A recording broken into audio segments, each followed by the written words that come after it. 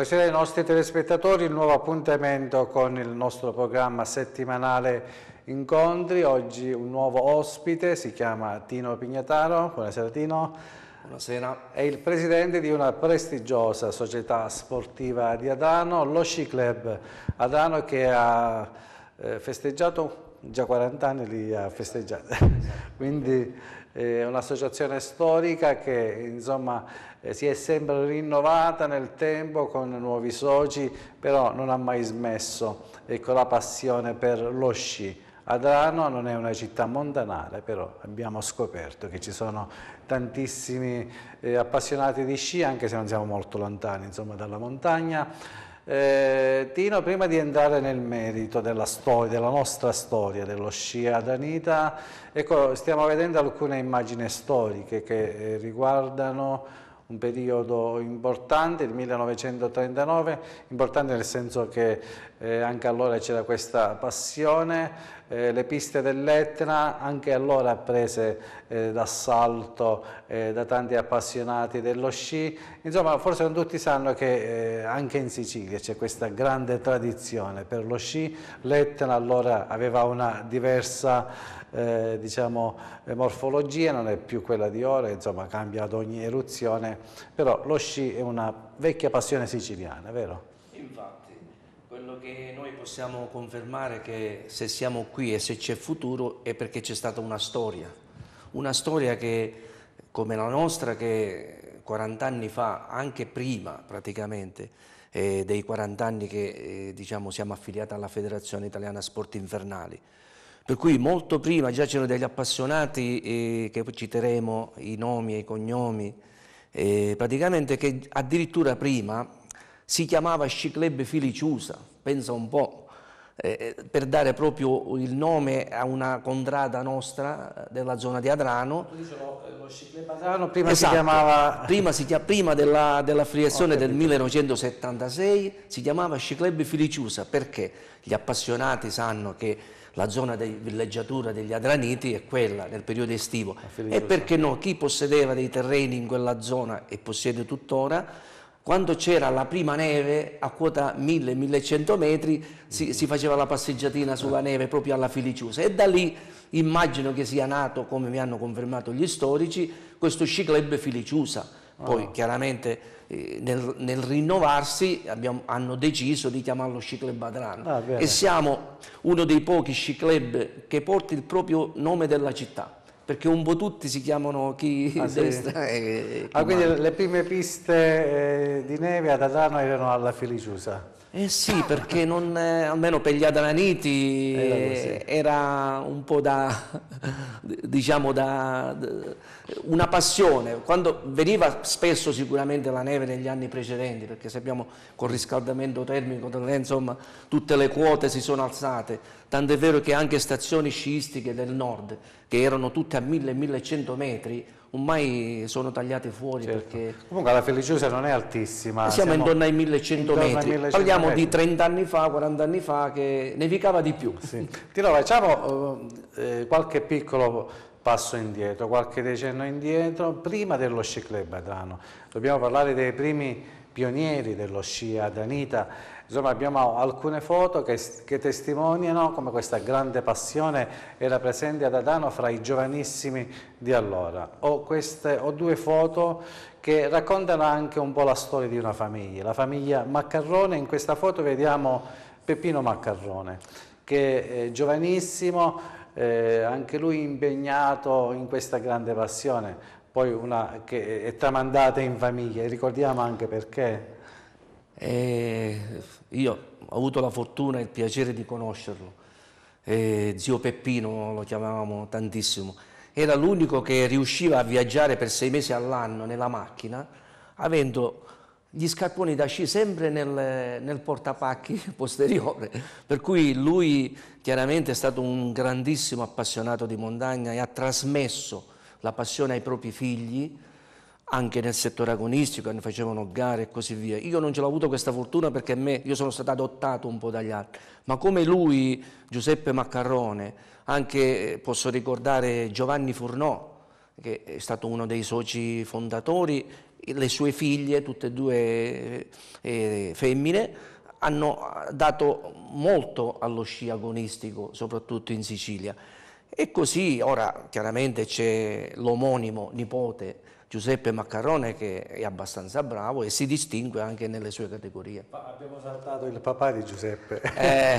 non dimentichiamoci di Enzo perché anche lui è un grande appassionato. Oh, assolutamente sì, non solo. Ma, ma anche gran... la figlia di, di Sì, Enzo, Francesca, sì. insomma questo è uno sport, chiamiamolo di famiglia, dai. Esatto, per sì. cui... già tre generazioni sicure che insomma Sicur... zio Peppino, Enzo Maccaroni, il figlio Giuseppe e probabilmente anche... Siamo sicuri eh, per, per 60 anni che andrà avanti sicuramente la, la passione per lo sci nella famiglia Maccaroni in questo caso. Tino, mi raccontavi di altri pionieri, hai, hai citato alcuni nomi, eh, tanta era la passione in alcuni che addirittura facevano gli sci di legno, cioè, cioè li, sì, realizzavano sì. loro stessi. Io non ho avuto la, la fortuna personalmente di vederlo, però parlando con gli interessati, in un certo senso questo, questo sport che già nasceva da tanti anni, che si, eh, si piaceva qui in montagna, sull'Etna, andava, penso un po' che negli anni nel, intorno al 55-60 mi dicevano che esisteva pure la corriera,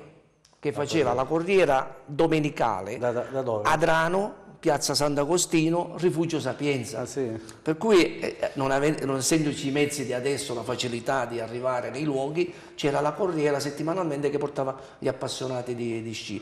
Tornando al discorso di, di, diciamo che magari eh, questo, questo, questo, sport è stato innovato anche grazie all'importazione di molta gente che è stata diciamo, eh, emigrata in, eh, Svizzera, per cui dalle montagne svizzere, magari poi vedranno, si vedrà nelle foto parecchie comitive di lavoratori che sono partiti dalla, da Adrano, andando in Svizzera, poi nei, nel tempo libero cosa facessero, si sono dati pure allo sci. Per cui abbiamo delle foto che testimoniano anche questo. Peraltro eh, c'è stata un continuo in, innovazione nello sci dagli sci di legno come citavi tu poco fa, addirittura molti diciamo, artigiani eh, di Adrano sono riusciti a costruirsi gli sci proprio loro con le, con le sue mani. Incredibile ma vero. Tanto è vero, io faccio una parentesi un po' scherzosa, ma è una battuta veramente che è successa. C'era il direttore della stazione di, di sci di, negli anni 70, eh, di Nicolosi, eh, praticamente uno di, di, questi artigiani che si è costruito gli sci, perché si vedevano che era una cosa artigianale rispetto alla grande. Allora ha preso questi sci e li ha piantati di fronte alla, o vicino alla porta che magari davano un po' di imbaccio.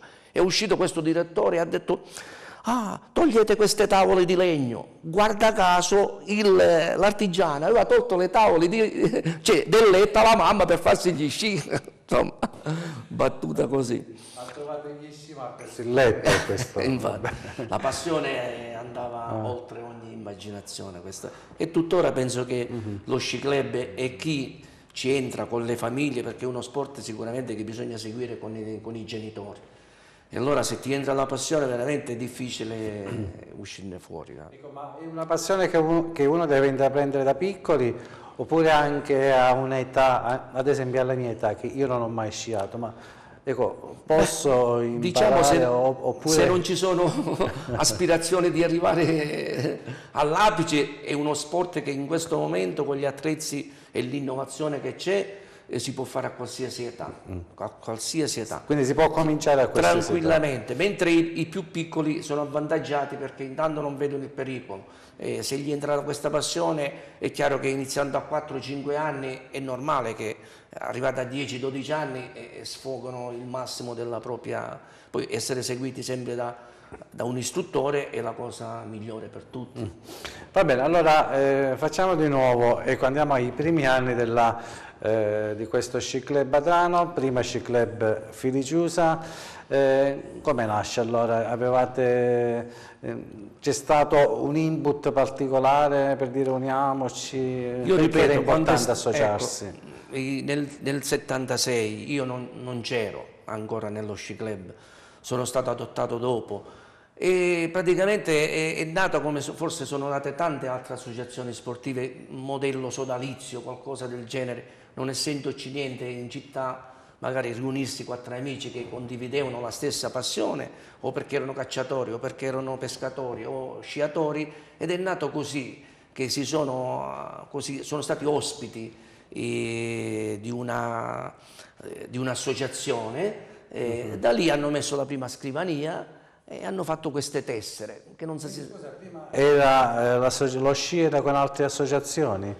Eravamo ospiti, ospiti, ospiti come sede, come, come sede, sede. Eravamo, siamo stati sempre abbastanza ospiti. Con i cacciatori e i pescatori? no, essere... no, dico, questo era una, un, No, perché condividere... mi pare di ricordarmi un'associazione con pescatori, non c'entra. No, no, no, no, no vabbè, eravate ospiti. Cioè, pesca sì, sono sì. sempre stati uniti. Noi siamo stati per parecchi anni ospiti, poi con l'evolversi diciamo, anche le esigenze dei soci, siamo riusciti ad avere un, uno schibus, un pulmino per accompagnare i bambini nei campi di, di, di gara e anche una sede che eh, abbiamo avuto per molto tempo. Chiaramente eh, il problema maggiore sono sempre le risorse. Yes. Le risorse purtroppo ormai con i mezzi che ci stanno adesso si può comunicare più facilmente, eh, non è vitale la sede, e di conseguenza se c'è qualche contributo anche da parte dei soci sostenitori chiaramente noi lo divulghiamo verso i giovani che promettono e vogliono fare mm -hmm. attività. Eh, in questo momento quanti sono gli associati dello Sci Club Adrano? Siamo 40, ancora la stagione non è, non è diciamo, conclusa. conclusa. E Senti, peraltro si... tutti sciatori, eh, attenzione, certo. cioè non, non, è un sodalizio, magari in città ce ne sono qualche centinaio di sciatori, magari che fanno gli ambulanti, ma non ci interessa, però il discorso di intraprendere eh, diciamo, l'associazionismo eh, per trasmettere anche ai ragazzini eh, il campo di gara, diciamo, mettersi a confronto con, con il cronometro, con altre società, tutto regolarizzato da, da quello che è la federazione. Ecco, ma come è strutturata la vostra società? Ci sono varie categorie a seconda anche delle Noi, gare? Mm, certo, mm, ma è tutto diciamo... Ehm, ecco, come funziona la vostra società? Praticamente la Federazione Italiana Sport Invernale abbraccia tutti gli sport invernali, per cui noi che facciamo parte del comitato Siculo Fisi, ogni, ogni regione in Italia ha il suo comitato. Di, di conseguenza questi comitati regionali diciamo, fanno parte i, i, vari sci club regionali. Per esempio noi in Sicilia siamo eh, circa 17 sci club tra la provincia di Palermo, Catania, qualcuno di Messina e soprattutto è chiaramente che Catania diciamo che ha più uh, sci club e noi facciamo prevalentemente sci alpino perché la federazione abbraccia tutti gli sport invernali, dal bob, slettino, eh, fondo e così via. Noi siamo eh, orientati, abbiamo fatto sempre attività sportiva come sci alpino, slalom e gigante, mentre ci sono altre società che fanno solo il fondo per esempio, e per cui e sono discipline che, e noi chiaramente che eh, diciamo, l'agenda dello sciatore che regolarizza anche le, diciamo, le le, le categorie. Eh, le gare eh, chiaramente eh, un, diciamo una, un decreto legge dice che non, di, non, meno di 11 anni si possono fare gare agonistiche, per cui sono tutti eh, super baby e baby fino a quell'età ecco, dagli 11 anni in poi possono accedere alle fasi agonistiche, perché chiaramente le fasi agonistiche debbono essere trattate con eh, molta più diciamo, perfezione, debbono essere una certa idoneità anche alla visita medica, agonistica, eh, insomma anche nei campi di gara ormai è obbligatorio avere i defibrillatori, insomma ci sono delle regole, poi ci sono i cuccioli, e poi allievi ragazzi che sono fino a 16 anni. Eh, poi si passa agli aspiranti, dai 16 ai 18 anni. Poi si entra nella categoria eh, senior, che sono i più forti sì. di tutti, insomma, che... e poi c'è la master, le categorie master, per cui ci sono più di, di sei categorie dove abbracciano tutte le fasce d'età del, dello Insomma, sci. la vostra è una grande passione, abbiamo detto, però non è solo un'attività così, non è solo un hobby, insomma, ci sono atleti veri e propri che gareggiano. Assolutamente eh, sì, assolutamente sì. Non, qualche non... campioncino ce l'abbiamo, qualche talento? Ma noi eh, ci speriamo sempre di averlo, perché il problema è, è, è legato anche un po' all'attività all che si può fare qua. Siamo limitati chiaramente perché al nord già hanno fatto 100 giorni di sci, insomma, qui ne, abbiamo fatto 30, sì e no, certo. 30 giorni, per cui siamo limitati un po', però in passato già abbiamo avuto dai, dei campioncini regionali eh, a livello di, di cuccioli, cuccioli. Chiaramente ora abbiamo un bel vivaio, bambini già da 4 anni e mezzo, 5 anni e mezzo, 7 e mezzo, 8 e mezzo, per cui anche loro stanno un po' sempre perché sono diciamo, frutto della famiglia certo, e la passione che, la passione che si tramanda, si tramanda come abbiamo visto nella famiglia Maccarrone, tutto qua. Ecco, eh, la vostra società, il vostro club si distingue anche dal fatto che organizza eventi sportivi importanti. Assolutamente sì, infatti quest'anno già è da settembre che le, le cose chiaramente si devono organizzare molto prima a livello federale noi abbiamo avuto l'ok dalla parte della federazione a settembre di poter eh, organizzare una gara nazionale sull'Etna, che non è roba da poco. È da, da almeno, mm, credo se non vado errato, 27 anni che non si facesse una gara internazionale o nazionale sull'Etna. C'era la famosa eh, Tre giorni dell'Etna, dove sono arrivati pure Gustavo Toni, Piero Grossi, Stricker, insomma parliamo di, di altri tempi. Eppure... Piero Grosso, quindi stiamo parlando di quasi 30 anni De, fa. Degli anni 74, 78, ecco, gli anni 80. 70, perché poi grandi campioni ne sono venuti per non a questi Noi livelli, come comitato siculo abbiamo visto che in tutti gli sci club abbiamo avuto dei, dei bravi, insomma in Sicilia dei bravi atleti, però eh, è, è, come se uno arriva a un, un punto di, di, di non ritorno e allora scelgono tutti di fare i maestri di sci perché del resto eh, purtroppo la, la, siamo la stazione sciistica più a sud d'Europa, vicino all'equatore. e poi non scordiamoci che sciare sull'Etna è un qualcosa di, di meraviglioso. È l'unico posto al mondo che si scia guardando il mare, a parte Vancouver in Canada, qualche si vede un po' di, di mare anche lì, ma proprio l'Etna è, è, è l'unico posto al mondo, per cui invito tutti cioè anche se sci, vedi, o il mare di, dell'Etna Nord, Lingua Glossa, eh, verso Fiume Freddo, o eh, proprio il Golfo di Catania, per cui la nostra stazione, le nostre stazioni sono abbastanza belle e ricercate prevalentemente per questo. Infatti quando ci, mi riallaccio un po' al discorso di questa organizzazione eh, nazionale, sono state ben 11 regioni a portare atleti qui su Etna Nord il 6, 7 e l'8 di febbraio. Praticamente 192 iscritti, allievi ragazzi, tutti dai, dai 12 ai 16 anni. E, e sai, vedere, vedere eh, eh, 11 regioni con 5-6 allenatori a seguito, sono, sono arrivate circa 900 persone, per cui è anche un, una boccata d'ossigeno, anche un po' per l'indotto che gira attorno alla montagna e ci hanno fatto i complimenti perché siamo stati abbastanza eh, premurosi nell'organizzazione. Il tempo ci ha dato anche una mano, la neve è stata abbondante ed è stata una bella maniera, ne hanno parlato un po' tutti di, di, e non è facile anche che la, la federazione assegni un evento di questo genere a una regione che prevalentemente eh, di piste ne ha pochissime. Senti, poco fa ecco, dicevi si parte dall'alto giri, ti giri dietro e c'è la montagna, guardi avanti eh, e guardi il mare. Mi spieghi cosa significa sciare, quale, quale sensazione si prova essere sugli sci e quindi eh, scendere con gli slalom, ma uno che non ha mai sciato. Ecco, c'è, c'è una sensazione di, eh, in particolare che si può raccontare oppure ormai forse è normale per voi scendere? Sì, infatti sono delle emozioni indescrivibili uno magari cerca di, di spiegare, di, però sono, e, e ogni volta che si sale in montagna a sciare è sempre un'emozione diversa, sempre una cosa perché non trovi mai la stessa neve, ma in tutte e due. Che noi amiamo comunque, noi a parte diciamo, la, la passione per lo sci alpino da discesa, ma quello che ci, ci unisce parecchio è l'amore per la montagna. Eh, certo. L'amore per la montagna è un qualcosa di indescrivibile. Noi conviviamo, come sai benissimo, sotto il vulcano che da un momento all'altro fa quello che vuole. E, magari tu dici vabbè ora questa discesa noi facciamo tanti fuoripista, insomma in sicurezza chiaramente, ma ci sono delle, delle pendenze oltre il 70% insomma, e tu pensi che tu vinca la montagna?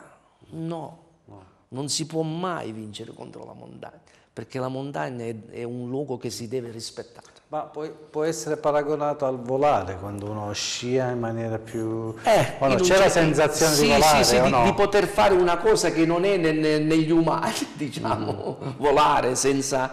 C'è questa una bella sensazione di sciare, chiaramente è come se uno galleggia, eh, ma poi sono le emozioni di saper fare di essere... sempre, sempre di essere che tu trascini gli sci e non fatti trascinare dagli sci e diciamo l'ambizione di ogni sciatore è quello di solcare sempre una traiettoria diversa di quello che sta avanti o, di quelli che sono passati prima.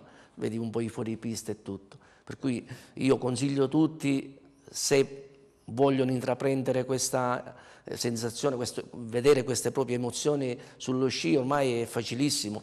Ci sono le scuole di sci che danno eh, parecchie informazioni. Nell'arco di due o tre ore qualcuno si può fare anche lo spazzaneve da solo tranquillamente e, e vedere questo senso di movimento, movimento per inerzia, per, per discesa. Non può essere un po' sospesi nell'aria lo sci. No, assolutamente diciamo no, così. bisogna stare sempre con i piedi a terra. Eh beh, con gli sci, con gli sci per terra perché sennò eh, eh, perché insomma l'incidente è dietro l'angolo perché purtroppo e infatti è... bisogna sempre rispettare la montagna ecco dicevi Tino che eh, insomma questa grande passione vi porta in montagna non solo ovviamente per fare attività agonistica non solo per le gare, per sciare, ma anche per vivere assieme alla, alla montagna, eh, partite anche per fare, un, si può dire fare una scampagnata in montagna? Perché no, perché no? ma eh, come ripeto a dire anche nelle manifestazioni che noi partecipiamo, anche in altri luoghi, per esempio l'ultima manifestazione che si è stata realizzata a Lingua Glossa, sono state le gare del trofeo Pinocchio, il trofeo Gioacchino Russo. Tanto è vero che poi alla fine il discorso del, eh, della salsiccia o qualcosa, noi siamo arrivati lì alla Proloco, che c'era la premiazione, e beh, ci hanno fatto trovare un pentolone di, di, eh, di polenta, per cui eh, eh, il mangiare insomma accumula anche questa passione della montagna e condividere anche un bicchiere di vino o la salsicciata è un modo anche per stare insieme con le famiglie perché è aperto a tutti lo sci, non dimentichiamoci eh, piccoli, grandi, genitori soprattutto, per cui quando ci sono delle belle giornate non ci lasciamo scappare questa occasione della salsicciata sulla neve. Certo. E poi diciamo che è uno sport che non ha età, io immagino che ci sono anche persone molto anziane che sciano. Oh, altro che, eh, praticamente eh, noi la più piccola che abbiamo in questo momento è sei anni e mezzo, una delle sorelline Nicoletti, peraltro la sorellina ha vinto la gara settimana scorsa, sì. e già scia, scia tutte, tutte sì. le piste se li fa lei. E, e grande... abbiamo il più grande 69 anni 69 che scia. Anni, insomma non sono tantissimi. insomma, per cui basta sapere i propri limiti e fare cose che uno non certo. può ormai diciamo le piste sono ben, ben battute, eh, la comodità degli impianti è andata oltre ogni per cui è uno sport che si può fare anche a un'età avanzata. Ecco, abbiamo detto, tu ricordavi il tempo negli anni 70 quando c'era la corriera ad Adano che da Piazza Sant'Agostino portava direttamente al rifugio Sapienza, immagino, giusto? Sì, sì, sì. sì. sì. Eh, e quindi questo eh, si, cosa significa? Che anche oggi vi organizzate per partire la domenica? Cioè, com, com'è la vostra attività? È, è, domenicale? Si parte ogni domenica in montagna? Oppure che frequenza c'è? Praticamente noi siamo strutturati in questa maniera che, le, eh, visto che le manifestazioni si fanno sabato e domenica, noi prevalentemente saliamo sabato e domenica con i propri mezzi ma solo nel periodo invernale, dico? Chiaramente, certo. chiaramente. Mentre durante la settimana ci sono delle giornate, il mercoledì e il giovedì, che c'è una pista di allenamento messa a disposizione eh, per gli sci club, eh, dove si può accedere soprattutto il pomeriggio, è una pista riservata, per cui gli allenamenti si possono fare durante la settimana, mentre le gare sono ufficialmente sempre diciamo, sabato e domenica e siamo organizzati con mezzi propri anche perché insomma, le, le, infrastrutture non ci permettono di, di, scegliere diversamente. Perché noi addirittura negli anni insomma, 90 così sempre puntualmente come sci club noi avanzavamo delle proposte direi quasi indecenti. Non so eh, di spalare la strada per andare al piano fiera eh, nel periodo invernale o perché no incominciare a progettare qualche telecabina da piano fiera a, a, insomma, eh, insomma con le quote alte. Però sappiamo che certe infrastrutture sono impossibili farle però è sempre nel, nel nostro diciamo, sogno vedere un'altra stazione sistica dalle nostre parti, da Etna Ovest o come potrebbe essere Etna eh, Nord di, diciamo, di Bronte. Sono i versanti che eh, potrebbero accogliere più neve ancora di questi che sono esposti più a sud, per cui si allungherebbe anche secondo me eh, la, la durata della neve, la consistenza della neve con le temperature più basse e sicuramente facilita anche eh, l'avvio di altre persone, di altri appassionati alla disciplina dello sci. Ecco, voi avete sciato soprattutto sull'Etna, eh, ma immagino anche in altre montagne avete capitato sì, insomma, sì. ad alcuni di voi. E sciare, che differenza c'è tra eh, ecco, sciare sulla, sulla, nostra montagna e in altre montagne? Ma chiaramente... Si vede noi, la differenza? Eh, noi infatti praticamente la neve che abbiamo sull'Etna eh, è un po' da carpe diem, cogli l'attimo, cioè nel senso che se c'è una giornata bellissima è una delle nevi più favolose che esiste, sì. però essendo che le precipitazioni sono un po' diciamo a rilento, diventa subito tipo neve vecchia molto mm. bagnata, per cui un trattamento di scioline e così varie per andare, far andare più veloci gli sci. Mentre in altri posti, chiaramente, a differenza del, del, di questa tipologia di neve che abbiamo al sud, in altri posti chiaramente si sono attrezzati diversamente con l'innevamento artificiale. Per cui noi che siamo abituati, e ormai questa tradizione eh, dura da un bel po' di anni, partiamo in settimana bianca per esempio attorno al periodo di Natale, per cui è inizio stagione. Non tutte le stazioni hanno la neve naturale e tutte, quasi tutte ormai si sono attrezzate ad avere la, la neve artificiale e la differenza della neve artificiale con quella dell'Etna è notevole. E allora la bellezza è anche quello, sai sciare nella neve artificiale e in quella naturale dell'Etna. Mm. Tutto qua. Ecco, dove, dove, si scia meglio? In quella naturale? Eh, no? eh, ovviamente, sì, sì. ovviamente sì, perché eh, praticamente eh, ha un miscuglio di, di, cristalli di neve diversa da quella prodotta artificialmente. Noi il nostro problema è perché c'è uno shock termico bestiale sull'Etna. Abbiamo meno 5 la sera e l'indomani 14 gradi, certo. per cui eh, questi sono eh, gli unici problemi. Tanto è vero che quando ci sono queste manifestazioni, in particolare quella di quest'anno nazionale, ci siamo dovuti attrezzare soprattutto perché c'era una bella giornata di sole, le temperature un po' altine, anche se era neve quasi nuova, insomma si è dovuto buttare un po' del, del, del solfato, perché il solfato ha una reazione col sole che fa indurire la neve per un paio d'ore, tanto quanto per fare le, le due manche delle, degli mhm. atleti, uh -huh. che usano anche al nord, attenzione, eh, per cui è un ottimo diciamo, prodotto per poter far sciare in sicurezza gli atleti. Certo, ho visto che ci sono anche molte donne che, che sciano nella vostra associazione, sono molte o no? Sì, ma è, siamo sempre sì. di eh, Salvo, siamo sempre lì, eh, dal momento che c'è la famiglia. Eh, è uno sport di famiglia, sì. Dal momento che c'è la... È uno, noi, è uno dei pochi... Eh, appunto, abbiamo iniziato con la famiglia Maccarone e guarda caso c'è Francesca Maccarone che scia, sì. nella mia famiglia ci sarà, c'è mia moglie, eh, essendo uno sport di famiglia coinvolge automaticamente certo. le, le, donne.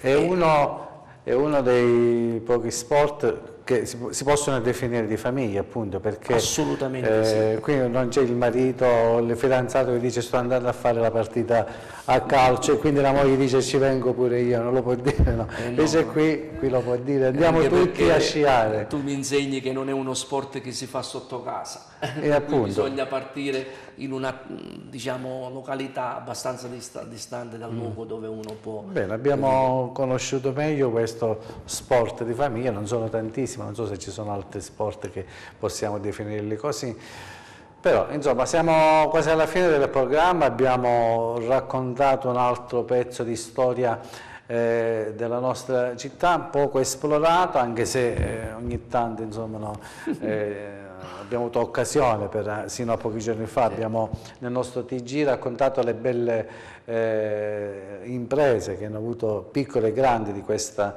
eh, dello Sci Club Adano che si, insomma, si distingue anche siamo con lì, i suoi siamo lì, siamo lì, non, eh, non ci tiriamo indietro. Va bene, Tino, senti, per concludere, c'è qualche aneddoto da raccontarci in questa storica eh, associazione di Adano? C'è qualcosa che vi raccontate fra voi soci che è rimasto? Praticamente... C'è un episodio, non so che... No, l'episodio, che... diciamo, quello più, diciamo... Che si può raccontare, giusto? Coreograficamente già l'ho fatto, quello, il fatto del... l'ho raccontato quello degli sci... Degli sci praticamente però noi vediamo anche all'interno del comitato degli altri sci club che eh, quasi quasi ci invidiano. Sì. Non so, o perché, ripeto, ci facciamo la salsicciata ogni tanto, o perché ci, sì. ci, vedono abbastanza uniti, uniti ecco, sì. e, e, dove ci sono le famiglie, come dicevi tu, ci sono i bambini, ci sono le donne al seguito, non ci manca mai niente e direi quasi quasi ci invidiano. Va bene, allora... e questo quando uno viene invidiato vuol dire che sta facendo qualcosa di buono e di positivo. E di positivo. Va bene, e concludiamo allora qui questa nostra chiacchierata, incontri di questa settimana che è stato interamente dedicato allo Sci Club Adrano, una storica associazione sportiva della nostra città che come avete visto insomma eh, molto da raccontare e ancora oggi vedo che c'è grande entusiasmo, anzi mi pare che aumenti sempre di più. Sì perché siamo al centro della stagione, ancora se certo. il tempo ci permette abbiamo un altro mese di, di organizzazione e di gare per cui siamo ancora nel clou della stagione, etna permettente. Ma in estate cosa fate come Sci Club? Ma praticamente d'estate eh, da un po' di anni non, non ci muoviamo, ma di solito andiamo nei ghiacciai. Nei ghiacciai? Ci sono dei ghiacciai che sono fruibili. E dove, per esempio? Sì, li abbiamo girati un po' tutti, lo Stelvio, eh, Cervinia, le Desalp, eh, la Marmolata ormai l'hanno chiusa perché c'è dei crepacci enormi, per cui questi tre diciamo, ghiacciai sono oh, fruibili fino al loro chiaramente aprono il 15 di maggio e chiudono il 15 di Ma settembre. Ma sciate pure? Eh sì, certo sì. che si scia. Sciano a tutti i livelli, si ah. fanno le gare, si fanno l'attività, l'allenamento. Già arrivano i pacchetti allo sci club via email, proprio per, eh, loro organizzano praticamente dei pacchetti per eh, gli allenamenti degli atleti. Tutto, tutto, incluso, per cui si scia da, dalle 8 e mezza del mattino fino alle 2 d'estate, ma si scia ad agosto tranquillamente allora, con i... Abbiamo scoperto che anche, si scia anche Si scia tutto l'anno, si scia tutto l'anno. Va bene, allora grazie a Tino Pignataro, Presidente dello Sci Club Adano e ringraziamo tutti coloro che ci hanno seguito, buonasera. Grazie, buonasera.